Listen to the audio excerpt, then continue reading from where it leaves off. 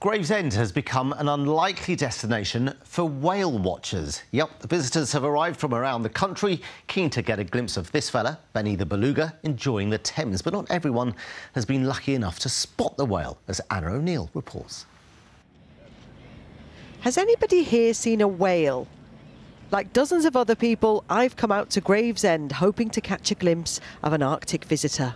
Obviously, we've never seen anything like this before, so it's quite an amazing sight if you do get to see it.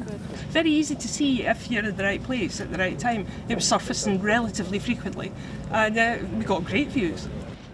Well, I'm glad someone has, but while not everyone has seen Benny, it might be possible to hear him instead. Marine noise in general, whether it's through seismic testing or um, military craft or commercial shipping is definitely having an impact on the way that maybe whales uh, communicate with one another. Um, and certainly it may be affecting them up their migratory pattern as well. But the longer the beluga stays here, the more concerned onlookers have become. It's awful. I think that it's just the effects of climate change, isn't it? So I think we're going to see a lot more of it now over the next coming years. But then if they're following their food chain, then that's what they've got to do.